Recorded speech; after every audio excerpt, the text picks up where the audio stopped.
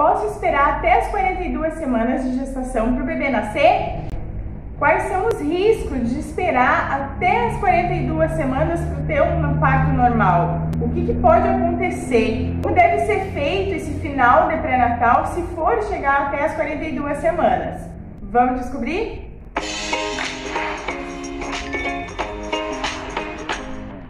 Seja bem-vinda de volta por aqui. Eu sou Cássia Mello e sou mãe de cinco. Também sou formada em técnico em enfermagem, mas agora eu trabalho só home office trazendo vídeos aqui para vocês. Mas vamos ao que interessa. A gente sabe que até nos exames que a gente faz, no acompanhamento das consultas, é programada uma data prevista de parto, já com duas semanas de margem de erro aí, que vai até 40 semanas. De uns anos para cá começou a, a se levar a gestação mais adiante, até 41 semanas com acompanhamento cada três dias. E agora, né, de uns tempos para cá, se esperado até 42 semanas. Mas será que é seguro para a mãe, que é seguro para o bebê esperar até 42 semanas? Já foi feito um estudo lá na Suécia que eu vou deixar aqui para vocês darem uma olhada, vou tentar deixar aqui o link da descrição para vocês saberem o que, que aconteceu. Esse estudo na Suécia sobre esperar até as 42 semanas, eles acompanharam as gestantes, né? Separaram as gestantes em grupos e umas até 41 semanas e outras até 42 semanas. Mas esse estudo parou é, esse estudo não pôde ir adiante, pelo fato de que estavam ocorrendo muitas mortes dos bebês.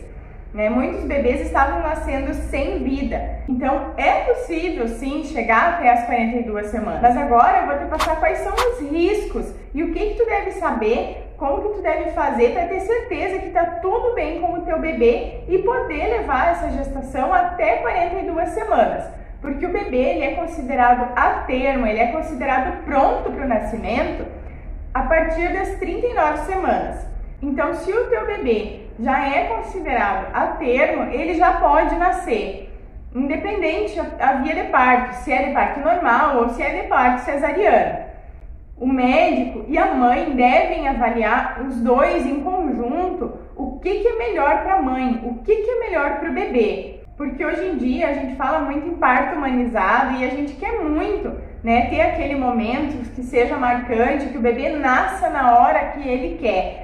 Só que aí tem que ser avaliado os riscos e precisa ter esse acompanhamento. Então agora eu vou te passar como que é feito esse acompanhamento a partir aí das 41 semanas. Esse acompanhamento deve ser feito cada dois ou três dias no máximo a mãe tem que ficar bem antenada nos movimentos fetais do bebê, se estão diminuindo, se ele está mexendo como ele já mexia nos últimos dias, não pode o bebê ficar parado, o bebê não se mexer. A perda de movimento do bebê é um mau sinal. Pode ser que o teu bebê já esteja em sofrimento fetal. E para isso, o médico pode utilizar na maternidade a cardiotocografia. Cardiotocografia é um exame que ele mede a frequência cardíaca do bebê. Se está muito elevada, se está muito abaixo do normal ou se está considerada normal. Então, nessa reta final da gestação, o médico precisa avaliar cada dois, três dias o bebê, a saúde do bebê, né? Se ele está ainda com vitalidade, se ele continua dentro do útero de forma saudável. Agora eu vou te passar os riscos, né, de esperar aí até as 42 semanas. O, o primeiro risco é um, ter um bebê macro, né, que é um bebê muito grande. Então, se tu tem desejo, tá esperando para ter um parto natural, tu corre esse risco, né, de sofrer algum tipo de laceração, de ter alguma dificuldade durante o parto. A cada dia, a cada semana, o bebê vai ganhando mais peso.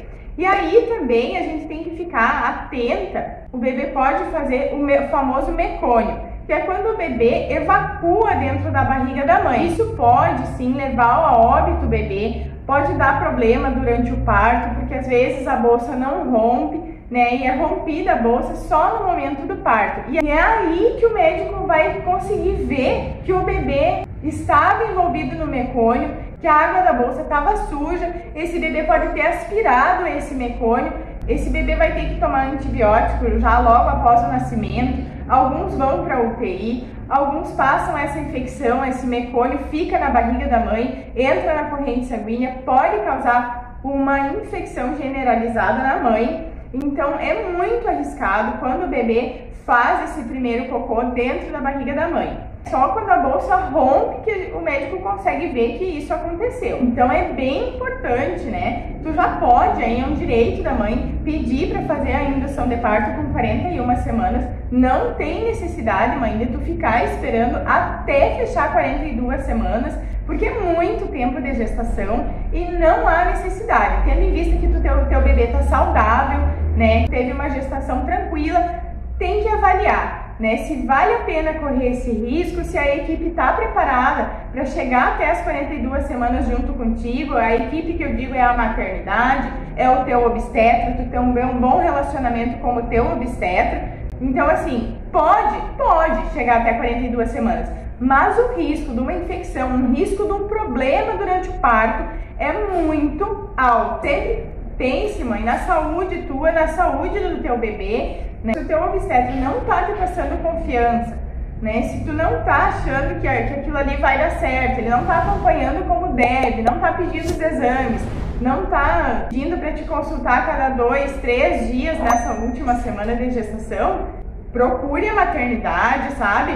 Bota a boca no mundo, por causa que a gente tem visto muitas muitos obstetras irresponsáveis, muitas mães que querem esperar o parto normal a todo custo e colocam a vida do bebê em risco, porque sempre sobressai a vontade da mãe.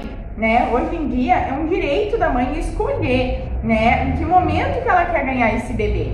Então sempre avalie os riscos. Eu vou deixar aqui para ti na descrição e aqui nos cards um vídeo sobre sofrimento fetal para te dar uma olhadinha, para te conseguir acompanhar se tu já tá na reta final da gestação. É bom para te ter conhecimento, para te poder ter informação e debater com o teu obstetra, com o teu médico e ir atrás aí de ter uma boa hora de parto, sem ter nenhum tipo de problema e sem colocar a tua vida e a vida do teu bebê em risco. Eu espero muito ter te ajudado com esse vídeo. Se tu gostou, não esqueça de se inscrever aqui no canal. Eu vou ficando por aqui, mas te espero no próximo vídeo.